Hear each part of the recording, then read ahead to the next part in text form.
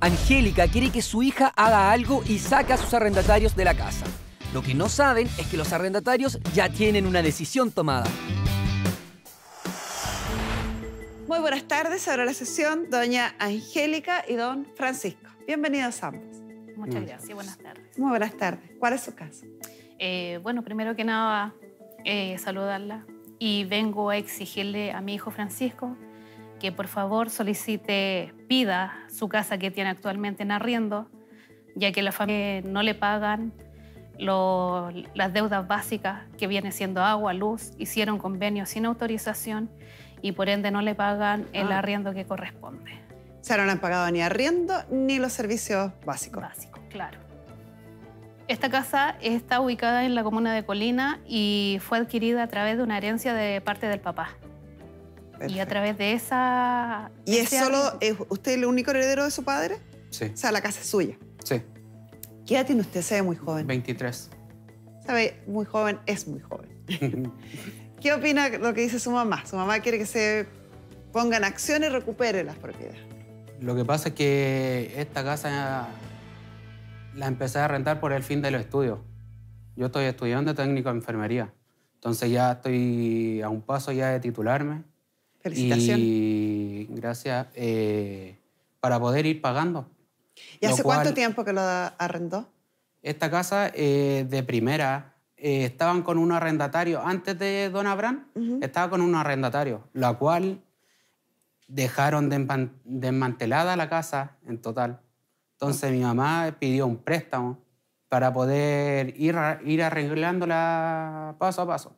Se arregló por completamente esta casa. No se prácticamente como seis meses se demoraron en arreglar por completa la casa. La dejaron nueva realmente. Entonces llegó el fin de, de arrendarla, eh, publicamos y llegó Don Abraham.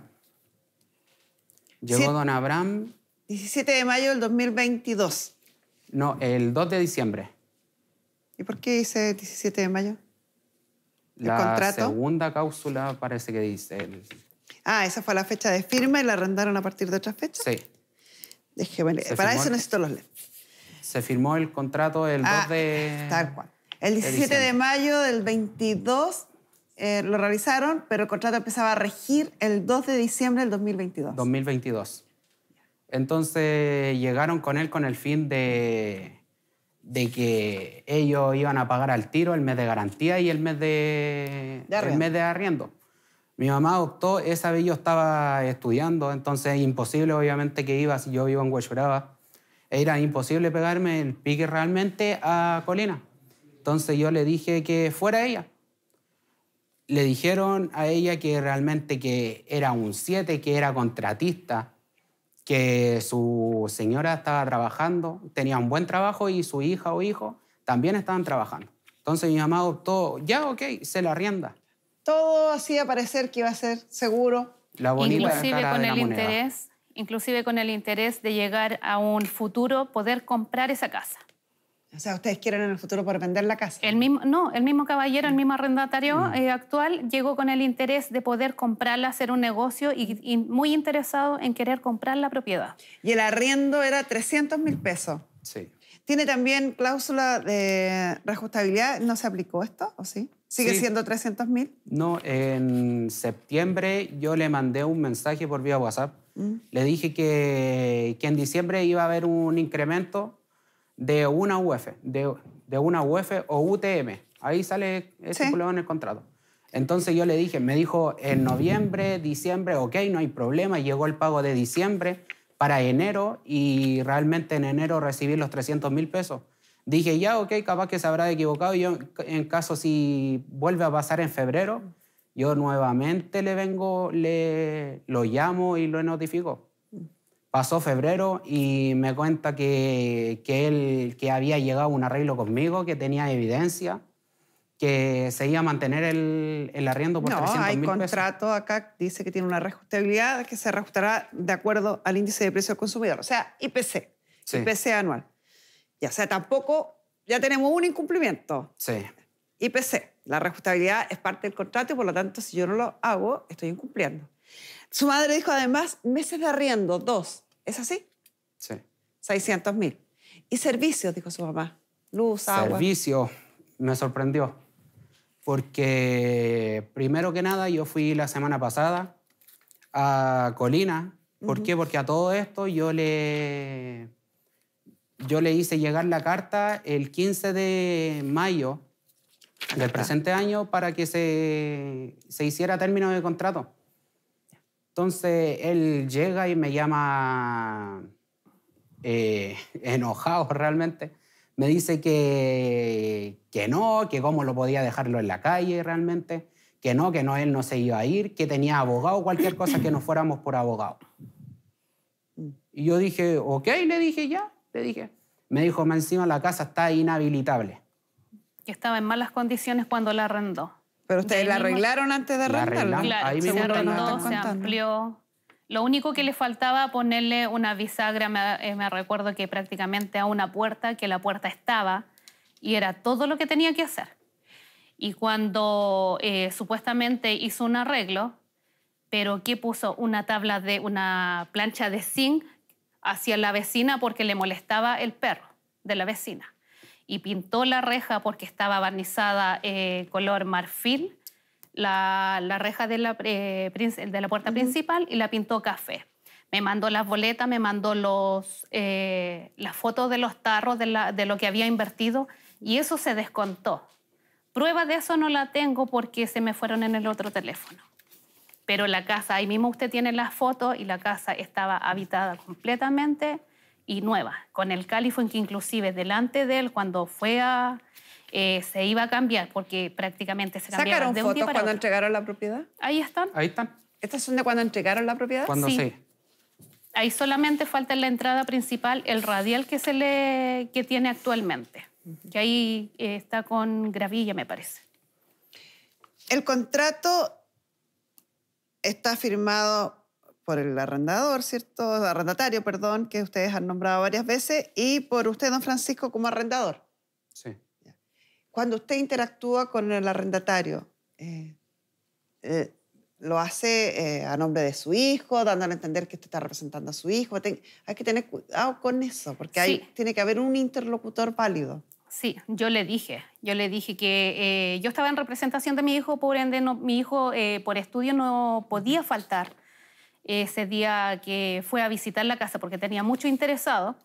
Y él eh, llegó muy claramente, porque llevaba 11 años viviendo en la villa colindante a la actual a donde está la casa, que llevaba 11 años viviendo ahí. Y el motivo era porque el dueño tomó la determinación de venderla. Y muy interesado llegó a la situación. Y finalmente, haciendo- luz y agua, ¿cuánto deben? Luz, eh, yo fui a agua primero y me dijeron que, que del 10 de... Ahí también está, en los papeles. El 10 de mayo del 2023 no se toma lectura de agua. ¿Por qué? Porque el personal que iba a tomar la lectura iba y le abrían la media cortina y cerraban. Entonces, de ahí empieza el problema. Yo en diciembre eh, vi, el, vi por vía internet que cuánto debía y todo. Y me fijo que realmente está pagando 1.380 pesos, que es el arriendo del, del medidor. O sea, no está pagando el consumo. Sí. Entonces me dijeron, primero, eh, investiga sobre todo lo que está pasando y después puedes venir para acá eh, a hablar, pero realmente se va, va a ir el día siguiente que yo tenga la casa, va a ir, van a tomar la lectura y va a salir todo reflejado de todos Claro. los meses que estaba. Y de la Fui- mano de una multa también. Y me veo con la sorpresa de que habían pedido dos convenios. Y yo dije, ¿y por qué le dije? En el contrato sale estipulado que no, no puede pedir convenio sin mi autorización o hacer un arreglo en la casa sin mi autorización. Entonces yo le, le dije, ¿cómo hizo convenio? Me dijo, sí, tú viniste para acá y autorizaste que, Suplantación de identidad. Sí. Que pidiera convenio. Le dije, ¿cómo? Le dije, yo vivo en Huechuraba. Yo no me pego. Realmente es media hora, 45 ¿Y mi- pidió ver el minutos. documento donde usted autorizado? Sí, yo le dije, pero ¿cómo le dije? Si ustedes hacen convenio que, que sea verídico y sea represen- representación, representación mía, le dije, tiene que por lo menos mostrar la cédula. No que tú viniste o también hicieron, la que hacen aquí es que, que se hacen pasar que es el hijo. Vengo de parte de mi hijo y que yo estoy viviendo, vengo a hacer convenio. Hizo dos convenios. absolutamente irregular eso. Porque Sí. efectivamente para cualquier trámite que uno realice, donde solo lo puede hacer una persona determinada, se debe exigir la cédula. La cédula, sí. Y si eh, presentó una cédula falsa o hay un documento firmado con su supuesta autorización y no es su firma, eso es un delito. Sí. Para que aprendan algunas cosas. El contrato está perfecto, establece eh, las partes, individualiza las partes, el bien eh, puesto en arriendo, el monto, la responsabilidad, causales de término. Está perfecto, firmado por ambas partes y ante notario. Bien. La carta está ante notario. Bien. Le falta una cosita. Enviado por correo certificado. Porque así yo puedo certificar, tener algún, vamos a reiterativo, tener un documento que acredite que efectivamente la persona recibió la carta. Y el plazo. No puedo darle un día ni dos días de plazo para que se vaya. Tengo que dar un plazo más prudente, ponerle término al contrato en 30 días, 60 días, de acuerdo a lo que diga el contrato. 30 días dice el suyo. Sin embargo, sí es válida para contrato de arriendo, carta, deudas de servicio, deudas de cánones de arriendo, comprobante, inscripción de dominio vigente a su nombre. Tiene todos los documentos para haber podido iniciar o para iniciar esta tramitación corta de la ley Devuélveme mi casa. Todos los argumentos. Con esto, un tribunal va a acoger esta solicitud, le va a dar un plazo de 10 días para que el señor se apersone, cumpla, responda, se oponga, haga algo. Y si no hace nada, le va a dar un plazo para irse. Si no se va en ese plazo, el tribunal procede al desalojo. El desalojo es una orden que emana del tribunal que uno debe eh, remitir a la policía a través de un oficio que junto a un receptor judicial va hasta la casa, abre lo que tenga que abrir, saca todas las pertenencias, bienes muebles del arrendatario y le entrega la casa, le restituye la casa al verdadero dueño. A eso es lo que se expone don Abraham, si es que insiste en no devolver su casa. Y para explicarle eso y ver si había alguna posibilidad de que devolviera su casa, nuestro periodista, Gustavo Flores, fue a hablar con él.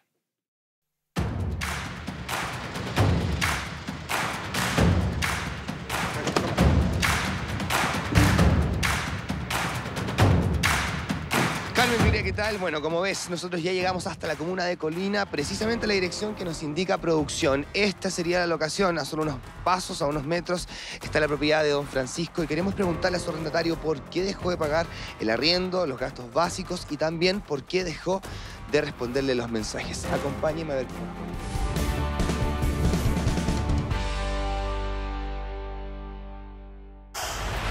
tiene todos los documentos para haber podido iniciar o para iniciar esta tramitación corta de la ley Devuélveme mi casa. Todos los argumentos. Con esto, un tribunal va a acoger esta solicitud, le va a dar un plazo de 10 días para que el señor se apersone, cumpla, responda, se oponga, haga algo. Y si no hace nada, le va a dar un plazo para irse. Si no se va en ese plazo, el tribunal procede al desalojo, eh, remitir a la policía a través de un oficio que junto a un receptor judicial va hasta la casa, abre lo que tenga que abrir, saca todas las pertenencias, bienes muebles del arrendatario y le entrega la casa, le restituye la casa al verdadero dueño. A eso es lo que se expone don Abraham, si es que insiste en no devolver su casa. Y para explicarle eso y ver si había alguna posibilidad de que devolviera su casa, nuestro periodista, Gustavo Flores, fue a hablar con él.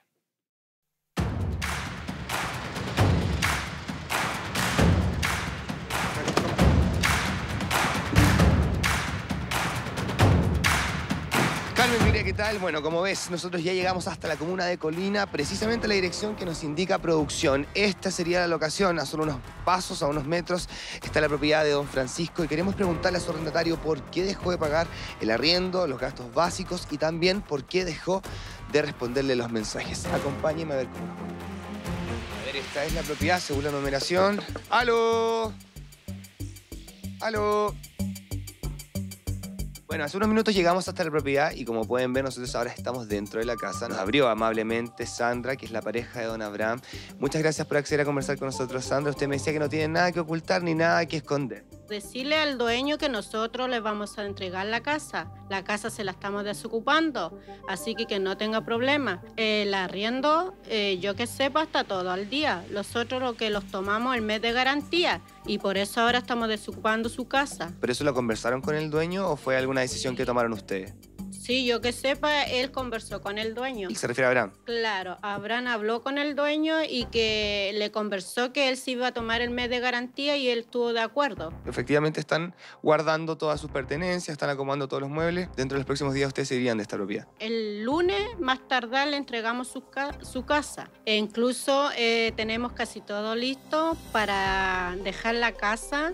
El domingo ya tenemos la casa desocupada para el dueño. Hemos acarreado cosas para la otra casa que los vamos a ir. Y eso, pues, no tengo nada más que decir. Respecto al tema del pago, el arriendo, usted me decía que no, no sabe mucho qué pasó ahí, pero que en el fondo ustedes han cumplido siempre con el arriendo. Sí, el arriendo yo que sepa está todo cancelado y el agua y la luz igual está cancelado. Cuando recién llegamos acá, esta casa está endeudada en agua y luz y nosotros tuvimos que hacer convenios para poder pagar todo. O sea, ustedes asumieron la deuda que arrastraba los arrendatarios anteriores, me imagino, los dueños anteriores. Claro. Creo que acá habían otros arrendatarios cuando a nosotros lo- los pasaron esta casa y esos arrendatarios dejaron cuenta y nosotros tuvimos que hacer convenios. Pero en el fondo hoy día estaría saldado todo, no habrían deuda en el fondo. Claro, se, yo creo que se debe el mes de, de ahora. De ahora debiera estar eh, esta deuda nomás. Perfecto, muchas gracias. Acabamos de salir de la propiedad, avanzamos unos par de pasos porque producción nos contactó de inmediato debido a que ellos se lograron contactar con Abraham y él envió el siguiente audio para que ustedes también lo puedan escuchar. Llegué este trato con la mamá de él. Este muchacho se metió después, que era de la casa de él, la cuestión. Hice hartas cosas en la casa, porque cuando llegué yo estaba muy fea, no tenía chapa, no tenía nada, tablita afuera, nada, tenía. Hice harto arreglo. Y después me salió con el chiste de este muchacho, Francisco, que no era descontable. Si yo quería arreglar la casa de él, era como gratis. En ningún lado es así, po. ¿Cómo estar arreglando la casa que no es mía, pero a mí me gusta vivir cómodo y limpio? Y había unas deudas de agua, luz igual. Yo reparté la deuda. Y eso también a él le, le pareció mal, pero ya las deudas estaban ahí, po. Todo eso se originaron el problema. Y yo le dije que quería tomar el mes de garantía y si no encontraba casa, el mes por año que me corresponde, pues yo ya estoy cumpliendo con lo mío. Miércoles ya yo me... ya la casa queda desocupada. Yo ya me consigo una casa. Entonces la agrandó mucho este muchacho. pues. Era todo conversable, pero él cerrado. Eso sería por mi parte. Bueno, ahí estaba la aclaración de Abraham, el- la persona que hizo el contrato de arriendo de esta propiedad. Nos contaba básicamente lo mismo que escuchamos con el testimonio de Sandra, su esposa, pero lo cierto es que ambos se comprometen a dejar la propiedad en los próximos días para que así pueda tener tranquilidad la persona que en este momento está en este estudio, que es don Francisco, el dueño de esta propiedad. Muy bien nos fue. Gracias a Gustavo Luis Flores, nuestro periodista, que fue hasta la casa en cuestión. Y como pudieron ver, rápidamente empezaron a embalar, a guardar y comprometiéndose a más tardar en tres, cuatro días entregarle la propiedad. Solo unas cosas. Además de lo que revisamos para hacer las cosas bien la próxima vez, de la carta, que tiene que ser por correo certificado, ¿Se da cuenta de lo que yo sin haber escuchado les dije hace un rato de que tenían que tener claridad quién era el interlocutor? Porque él también lo, lo señala. Yo partí hablando con él, después hablaba con la mamá, después hablaba con él. Entonces, para evitar eso siempre hay una persona que debe ser el interlocutor válido. ¿Se esperaban esta sorpresa? Me sorprendió, pero realmente no es así. ¿Y ¿Usted cree que no la va a dejar? Dijo que en mal estado. ¿Usted No, no, misma- no. ¿Usted cree que que- no va a dejar la casa? No, yo creo que sí. Con, con todo esto yo creo que sí la va a dejar. Se ahorra Pero- un juicio, se ahorran abogados, se ahorran todo. Como dijo supuestamente que va no a había entregar? tabla afuera, nada. No mismo. vale la pena esa discusión. Entonces, Lo está importante es que la va a por entregar, pero las condiciones eh, que quizás cómo la va a, entre- la va a entregar. La Las mentira. imágenes, la casa ¿Por se qué? veía bastante bien. Debo ser Porque por sincera. fuera eh, Francisco fue y le tomó foto y está, está llena de hoyo. Todo Más el frente 30 de la hoyos tiene casa. afuera. Eh, le sacó foto y la parte de la cerámica desde la entrada faltan cerámica. Y tan solo ver desde, el- desde afuera no me quiero imaginar cómo va a estar dentro, en el interior. Seguramente la casa no es la misma que usted arrendó. Mm. Seguramente puede que haya eh, desgaste de uso, manchas, cosas así. Sí, cosas así. Pero también es una certeza que esto podría haber terminado en un tribunal, en un juicio, con los costos de abogados que ello implica, los costos de notificaciones, los costos, el desalojo tiene un costo, que cobran el receptor, que va hasta allá, hace la gestión. Nuestro programa, con nuestro periodista, en terreno, hablando con ellos, le ahorra todo eso. Entonces sí, a lo mejor no es 100% intacto como usted hubiera querido, pero es un tremendo avance que ya tengamos fecha cierta donde nosotros vamos a estar acompañándolo a que usted reciba de vuelta su casa, por fin, como corresponde. ¿Le parece? Sí.